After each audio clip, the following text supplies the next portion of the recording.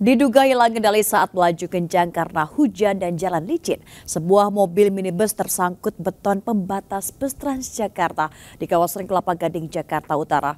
Usai kejadian, pengemudi mobil langsung pergi meninggalkan kendaraannya. PYW ya?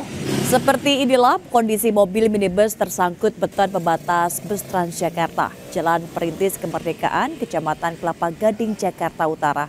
Mobil rusak pada bagian depan dengan kondisi kaca depan pecah.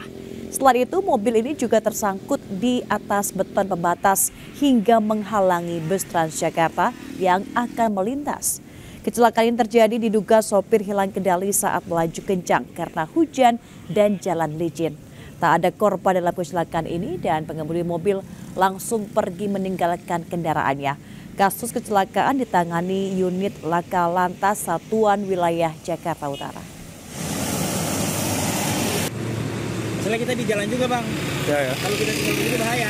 Eh, iya yang ininya juga nggak ada nih.